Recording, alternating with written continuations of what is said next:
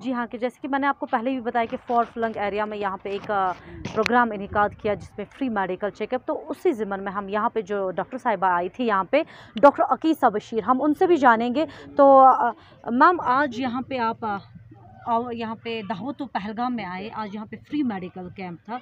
ज़्यादातर क्या पेशेंट्स आपने यहाँ पे देखे क्या नोट्स किया अस्सलाम वालेकुम मैं यहाँ I I I have seen almost 200 plus patients लेकिन एक चीज़ मैंने देखा despite being a far flung area I was not expecting कि मैं पी सी ओ एस के पेशेंट्स यहाँ बहुत ज़्यादा मैंने देखे। यंग गर्ल्स एक स्कूल से गर्ल्स आई थी young girls they were having all symptoms of polycystic ovarian syndrome and मैंने ये चीज़ भी देखी junk food even far flung areas में young girls are taking and मेरी मेन मैसेज इस वक्त रहेगी सारे youth specially girls they should avoid these junk foods which is it's a menace now days people young girls are suffering irregular cycles हैं, इनको acne है then hirsutism that's mean hair growth ज़्यादा हो रही है।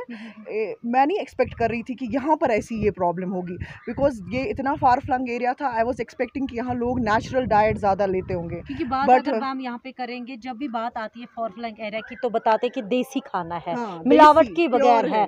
तो क्या अभी आप डिफ्रेंशिएट करें आप बहुत टाइम से इस प्रोफेशन में है। एज अ डॉक्टर आप किस कैसे देख रहे हैं? मैं वही देख रही हूँ कि हमारा कश्मीर जो है diabetes was not here diabetes बहुत कम था। हमारे प्रेग्नेंट लेडीज़ में भी आजकल हम देख रहे हैं जस्टेशनल डायबिटीज़ बहुत ज़्यादा है। When I was doing my post graduation जब मैं एल हॉस्पिटल में थी आई थिंक टेन ईयर्स और eight nine years back it was very less common diabetes था नहीं हमारी पॉपुलेशन में बट नाउ आजकल मैं देख रही हूँ I am posted in M C C H Anantnag Sherbagh hospital में मेरी ड्यूटी है। वहाँ भी मैं देख रही हूँ कि even in south Kashmir far flung areas ladies are coming with gestational diabetes they are coming with diabetes polycystic ovarian हाँ थायरॉइड एंड इसमें ये है कि बेसिक जो है हमारा डाइट्री मॉडिफिकेशन जो हो गया है डाइट हमारा चेंज हो गया है। Everybody is taking now junk everybody is taking high carb diet diet और उतना एक्टिविटी भी नहीं करते। यहाँ पर डिस्पाइट यहाँ पर लोग एक्टिविटी कर रहे हैं बट डाइट उनका उतना अच्छा नहीं है। तो इस डाइट का क्या मैसेज रहेगा? क्योंकि अगर ज़्यादातर अगर फीमेल्स की बात करेंगे मेनोपॉज की बात करेंगे पी की बात करेंगे उनको क्या एहतियात रखना पड़ेगा जिससे कि ये सब थोड़ा सा कम हो जाए? हाँ मेन तो है एक्सरसाइज तो वो कर रहे हैं चल भी रहे हैं काम भी ज़्यादा कर रहे हैं इन फार फ्लंग एरियाज़ में लेकिन डाइट उन्हें डेफिनेटली चेंज किया है। Now they are moving to restaurants में खाना खाना देन जंक फ़ूड ज़्यादा खाना चिप्स इतना ज़्यादा एवरी गर्ल मैंने देखा स्कूल की बहुत सी लड़कियाँ आई मेरे पास।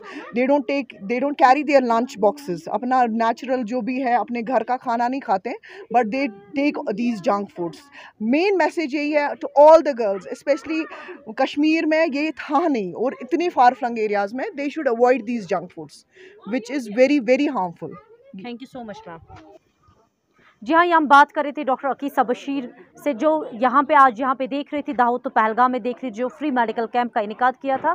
तो इनका यही कहना है कि ज़्यादातर अगर हम बात करेंगे, डायबिटीज़ पहले तो बच्चों में नहीं था। खासकर अगर हम यंग जनरेशन की बात करेंगे, लड़कियों की बात करेंगे, और उसके साथ साथ जो पी बहुत ही ज़्यादा आज दिखने को मिल रहा है तो इनका यही मैसेज रहेगा, पूरे जो यंग गर्ल्स है, जो यूथ है, उनके लिए यही रहेगा कि वो ज़्यादा से ज़्यादा जो जंक फूड्स है, जो रेस्टोरेंट्स में वो खाना, खाने जाते हैं या जंक फूड्स वो अवॉइड करें ताकि ये जो बीमारियाँ हैं वो दिन ब दिन ख़त्म हो जाए। अब दीजिए अपनी मेज़बान अजरा महराज को दावत पहलगाम से इजाज़त।